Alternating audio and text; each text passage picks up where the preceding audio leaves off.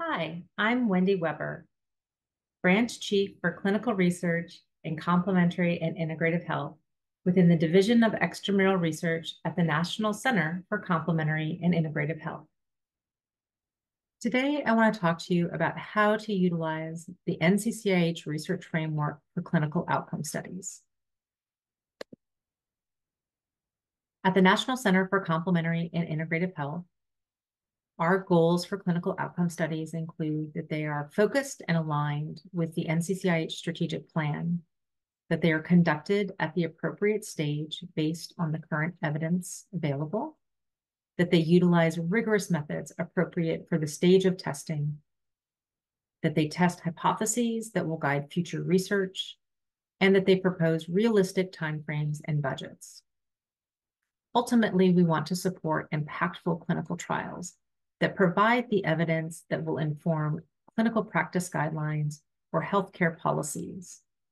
In addition, they may provide preliminary or feasibility data that will inform the design of fully powered trials.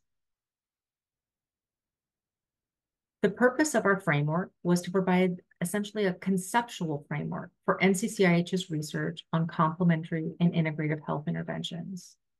We wanted to clearly delineate the purpose of each stage of research. We wanted the framework to help investigators align their research interests, questions, and approach with the appropriate stage of development, as well as provide some guidance on the availability or the appropriate notice of funding opportunity for each stage of research. Note that we call these notices of funding opportunity NOFOs.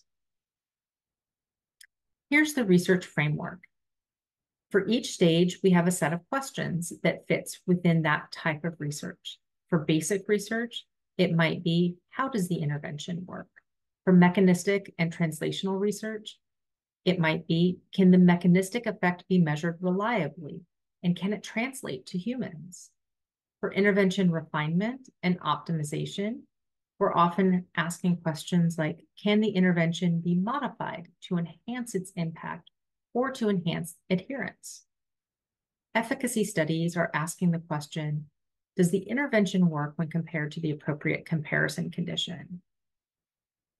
For effectiveness and pragmatic studies, researchers are asking, is the intervention still effective when it's implemented in those real world conditions? And then finally, when we have evidence-based interventions, the dissemination and implementation science stage of research asks, how do we facilitate the uptake of these interventions into various settings? Now, what we've done is for each one of these stages, we've matched funding opportunities for you to help you figure out which funding opportunity is the best fit for the type of science that you want to do. So as you're thinking about your research, think which circle does my research best fit into? And what's already known in that space and what would be new for the research that you want to do. So to better understand how you can use this framework, think again about what is the proposed scope of research that you want to do, find it along that continuum, and then look at the funding opportunity to understand what is the purpose of that funding opportunity we want you to think about and evaluate critically the current evidence base to help you think about what research would be new and innovative and along that continuum, along that framework, and then which funding opportunity is the best fit for that type of research.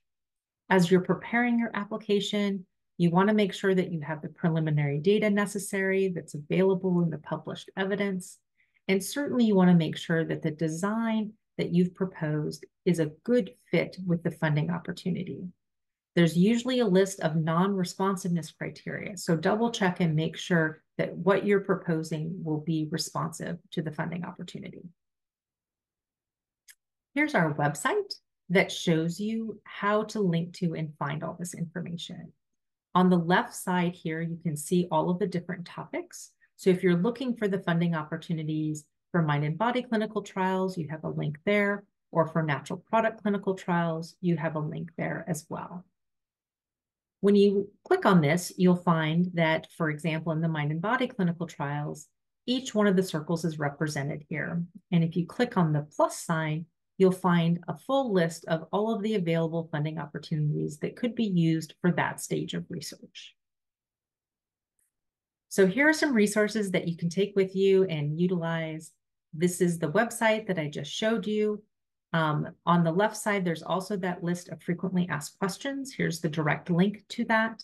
If you don't see the answer to the question that you have, please feel free to reach out to us via email at NCCIHDER inquiries or NCCIHDER inquiries at mail.nih.gov. Thank you so much for joining me today. Check out our video library for additional content and stay tuned for new videos coming soon.